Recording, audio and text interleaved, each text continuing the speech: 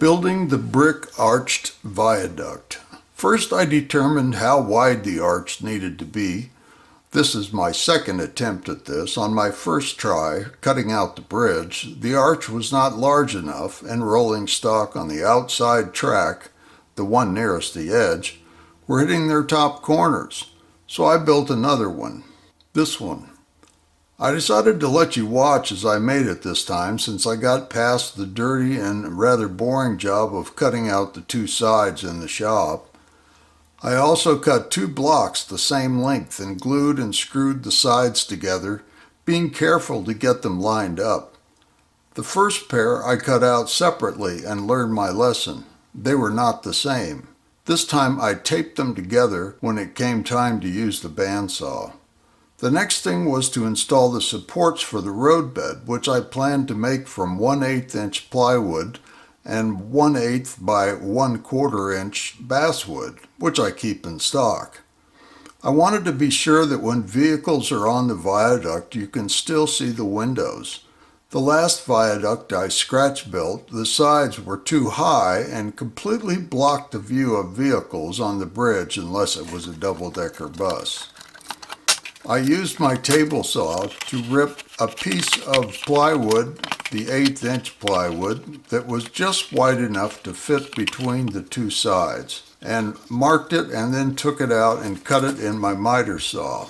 I used a plate to determine how big the arch needed to be,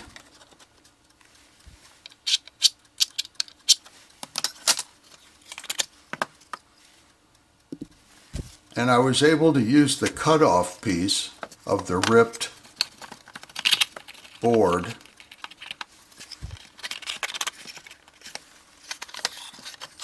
for the other end.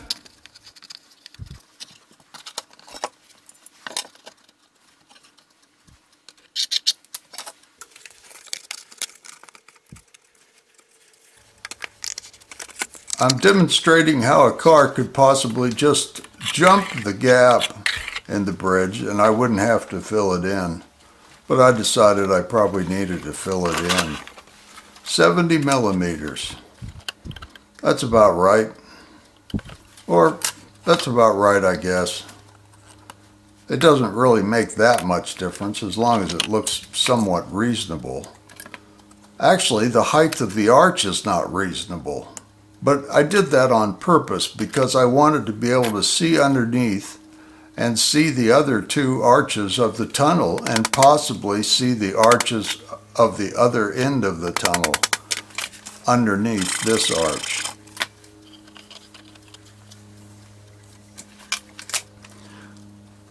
Also, the, the bridge approach is pretty short but I didn't really have room to make it any longer, and since this is a model railway, I decided it would have to do. Here I am trying to get the right size to cut for the pieces that go across to bridge the gap. When I, where I put the stop was a little bit too far down, so instead of moving it, I started piling tape up until I got them the right length. At that point, it was production time.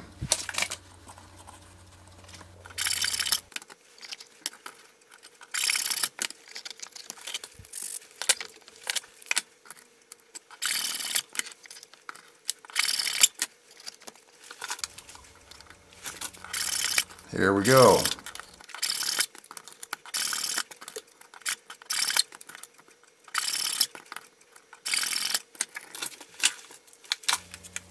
It only took half as many as I needed to get the length right.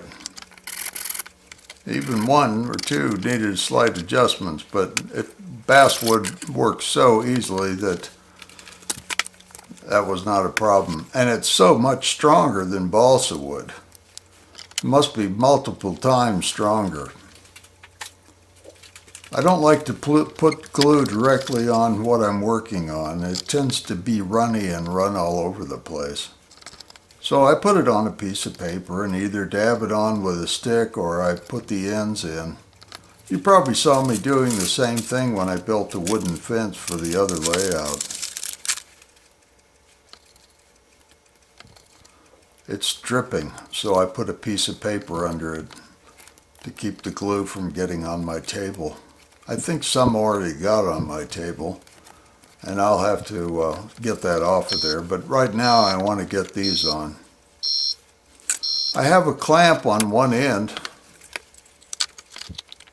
so that that roadbed piece won't move. It was sliding down and that was annoying. So now I've clamped the whole thing together so it'll dry close. Oh, it's already dry. Wow, days fly when you're working on a model railway.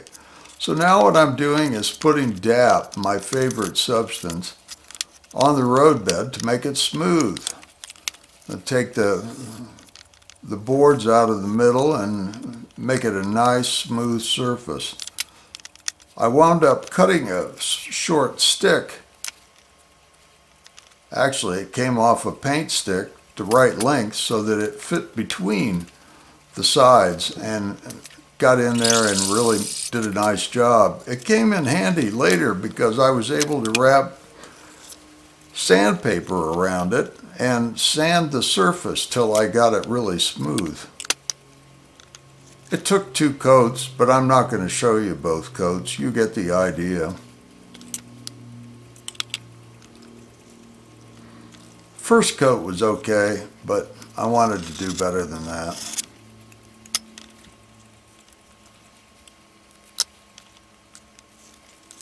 So that's coat one. And you're not going to see coat two.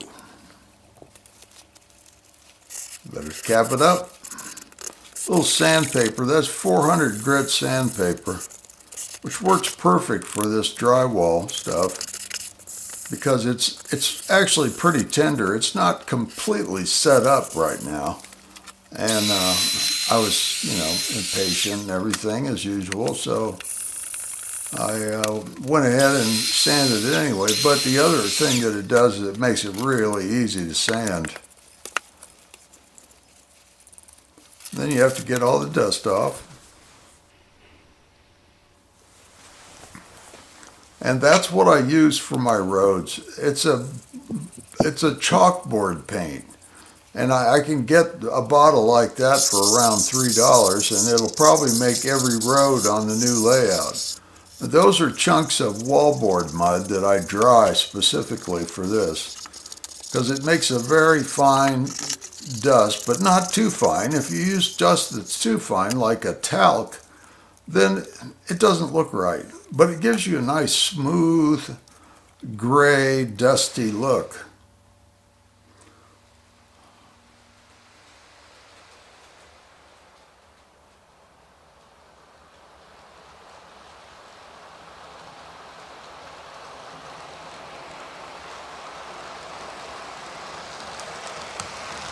Isn't that pretty?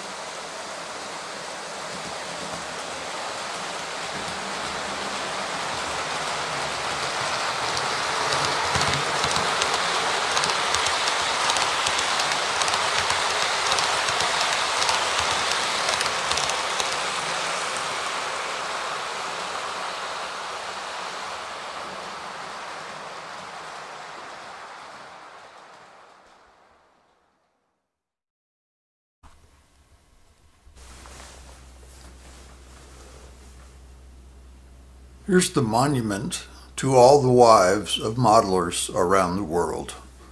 I got it done and uh, I've installed it here. The area is not fun, done, but right this specific spot is done. I'll get to the rest of it someday. I'm going to move on and continue with the major structures and I'll come back at some point in the future and detail all this.